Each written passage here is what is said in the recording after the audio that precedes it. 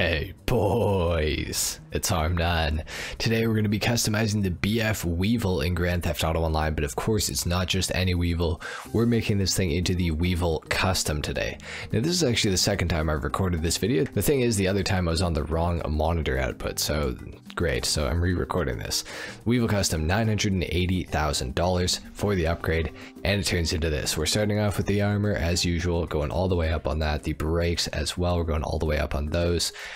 For the bumpers, we do have front and rear bumper options. I think that what I want to go for is probably the same as the last customization I did of this thing, and that is the injection bull bar. I think this thing looks really good, so we'll do that. For the rear of the vehicle, we're going to go for the Baja rear cage. I will show you all the options here just really quickly. Um, there's basically the chrome versions and the black versions of the same thing, so that's cool. For the chassis, for the headlights, we do have a few different options here. Uh, we can tint the headlight glass, which is pretty cool. Um, so I think what I'm going to go for is the blue custom custom fog lights. These are pretty neat looking. For the tail lights, we do have quite a few different options as well. Um, I think that what I'm going to go for is probably the bullet brake light glass. I like the look of those, so we'll do that. For the engine, all the way up, obviously. For the exhaust, we do have quite a few different options here. Uh, there's some really unique ones, some really weird ones, which is kind of cool. Of course, we have the Mega Zoomies, which is insane. Um, I think that I like the wrapped blast pipes though, so we're gonna go for that. For the hood, we have a few different options here. Uh, there's quite a few that are like one and the same sort of. Um, there's some little deflectors that we can put up. Um, there's also the horns on the side. We got the hood spikes, the hood studs, and the hood chains as well, which is pretty cool. Uh, we're gonna go for the retro horns. I think I like the look of that. For the hood itself, uh, we do have the option to add some more lights onto this thing, which I think is pretty cool. So we're gonna go for the fog light hood because I think that looks pretty dope. So we'll do that. For the interior, we can change the seats quite a bit. Uh, we have the World War II bomber seats, which is pretty cool. The basic bucket seats, lightweight racing seats, the bare aluminum bucket seats, the rat rod seats, the muscle seats, the barrel seats, and the worn leather barrel seats. I like the barrel seats. I think those are really unique. Never seen that in any other car. For the wheel, I'm going to go for the chain link number two. That's usually what I go for in Benny's car, so we'll do that. For the shifters, uh, we do have a few here. I'm going to go for the eight ball, but we do have quite a few. I think these ones are Halloween, the uh, these these four right here. Um, so they are kind of cool, but uh, I'm gonna I'm gonna just go for the eight ball like usual. The doors, I do have uh, I do have a few things that I can do to it here. I like the beater door panels myself, so we're gonna go for those. For the light color, I'm gonna go for something bright. I think that I want to go for maybe maybe diamond blue. Diamond blue is pretty easy to see, so I like that. For the roll cage, of course, we can add several different ones into this thing. It is somewhat of a rat rod, so I'm gonna go for a full cage um, because I think it looks pretty cool. So we'll do that. For the headlights, we are of course going to go xenon. For the livery, we do have quite a few different options here, as you guys can see. Um, I'm not sure what I actually want to go for here. Um, I think that what we're going to end up going for is probably the Forgotten Racer. I do like the look of that, so we'll do that.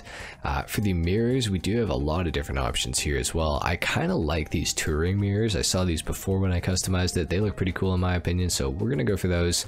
Rat Rod mirrors, of course, we can add those too, but I, I think that I like the touring mirrors the best, so we'll do that. For the hood ornaments, these are really cool. Uh, I don't think that we have these on many other cars in the game. Um, they're really sick looking. I'm going to go for the Reaper hood mount. I think it's pretty cool, pretty unique, so we'll do that. Um, there's quite a few here though. For the plate, we are going to go yellow on black as usual. For the respray of the vehicle, I think that I'm going to go for a black uh, because unfortunately with the respray on uh, on these like rusty liveries, it really only looks good in like black or like white in my opinion.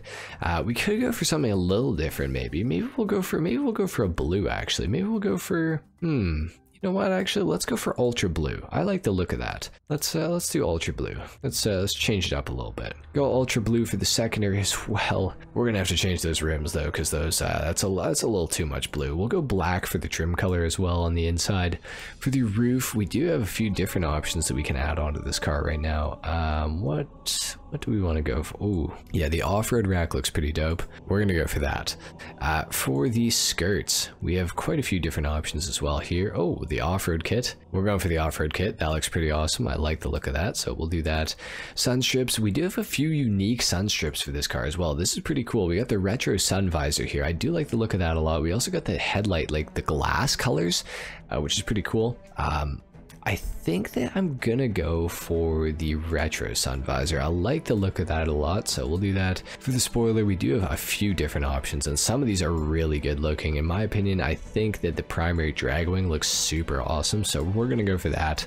Uh, of course, we have the crazy race wing and stuff like that, but I, I think this looks actually pretty realistic, and I like the look of it. For the suspension, we can absolutely slam this thing down to the ground. I'm gonna keep it a little bit raised because the last time that I drove this thing, the suspension, I think, played a part in it. So let's just say that. For the transmission, we are going to go all the way up on that. Of course, for the turbo, we got to go all the way up as well. For the wheels, I am going to go for some off-road wheels because this thing is going to need some grip. Uh, from my last time driving it, uh, I, I can tell you that. Uh, for the wheel color, I think we'll go black, if not maybe stone silver. Eh, I feel like the black looks better. Let's go for black. Um, for the tires, of course, we are going to go bulletproof on those for sure. And for the windows, we are going to tint these all the way out. This thing's looking uh, actually better than my first customization, so I like the look of it. Let's take it outside. It's time to do a sound test and, of course, a full review on the car. All right, so here we are outside. Let's take a listen to what the BF Weevil sounds like.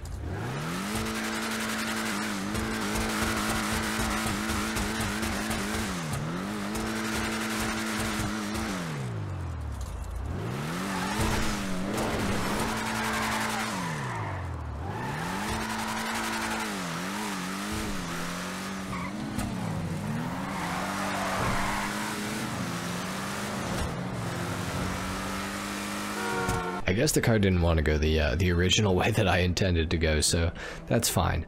Uh, the BF Weevil. Now, I drove this thing with the suspension all the way slammed down to the ground, and so far, I think that uh, I think that the way of doing this might not be to slam it all the way to the ground. Um, the steering became extremely unresponsive when I uh, when I slammed this thing. However, the rear end did grip up a little bit better. So if you guys are setting this up for yourselves, definitely you're gonna want the suspension lower. But I don't think the lowest setting is maybe the best. Um, I could be wrong. It's uh, obviously up to you guys, whatever you do with your cars. But uh, that is my suggestion. Now the BF Weevil Custom, uh, it is a very expensive vehicle. $980,000 just for the upgrade. And then the vehicle itself is on sale this week for I think $520,000 roughly. And uh, when it's regular price, I believe it's somewhere close to 900. So you're looking at like 1.8 million dollars uh, to fully, you know, to buy this car and to upgrade it into the Benny's version. And then you're looking at even more money to actually customize it. Now, is it worth it? I personally don't think so. Um, obviously, if you guys are Weevil fanatics, if you love the Weevil, if you've been waiting for this to come out, definitely buy it. If you're wanting to collect all the vehicles from the Criminal Enterprises DLC, definitely buy it. But I think for the average person in GTA, this is a car that you're probably going to want to skip over. It's a, it's not that good. It is really, really cool. I can't deny that. I do like a lot of the customization that you can do to this thing. I think it's generally actually a pretty good looking vehicle as well. I do, I do kind of appreciate how this thing looks. Uh, so that is good, obviously. But as far as money goes, I think that it's too much money for what you actually get. Um, in my opinion, at least. Obviously, you guys are allowed to disagree, but that is, of course, my opinion. Uh, the handling is not nearly as good as it should be, I feel like, especially for the price. I wouldn't have expected this thing to handle very well, but, um, you know, it, it, handles about as well as I would have expected, I guess.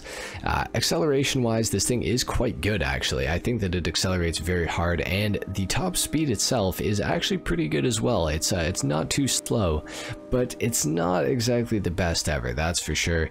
And it's definitely not $1.8 million worth of acceleration or top speed, in my opinion. So uh, there you have it, guys. That's pretty much it for the BF Weevil Custom in Grand Theft Auto Online. Obviously, if there's anything that I missed, let me know in the comments down below, but I think that I've pretty much covered it. If you guys enjoyed this video, if you learned something about the BF Weevil Custom, a like is of course appreciated. If not, dislike. Subscribe if you guys are new, and I will see you all in the next video. Until then, take care. Peace.